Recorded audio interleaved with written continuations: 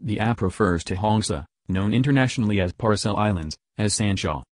Le Quang Tu Do, deputy head of the Broadcasting and Electronic Information Authority under the Ministry of Information and Communications, said the decision was made after the agency was unable to get the app correct the name of the Hoang Sa, Paracel, Islands.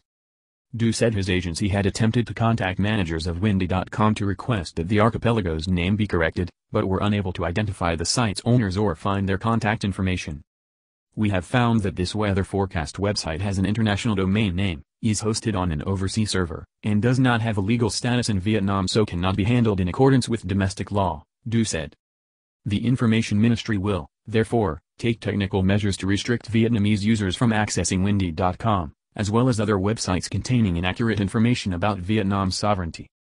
Do also called on the public to only use websites and applications that use official maps without wrong information on Vietnam's sovereignty.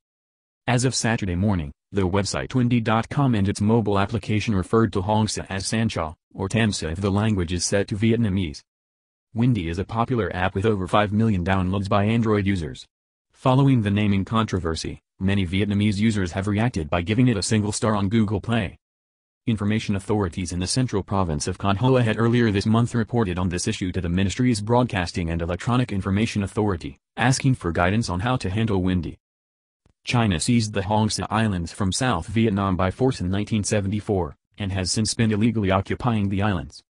In 2012 it established the so-called Sansha City with Woody Island as its seat. The city also covers a number of reefs in Vietnam's Truong Sa archipelago Spratly Islands that China seized by force in 1988 and the Scarborough Shoal, which is claimed by the Philippines. The video is sponsored by Cientronic.com.